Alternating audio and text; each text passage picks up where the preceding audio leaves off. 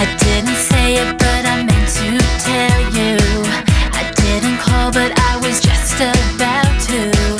I know you're mad and think you know where I've been. I know it's 5 a.m., but I can explain. I lost my jacket, had no credit.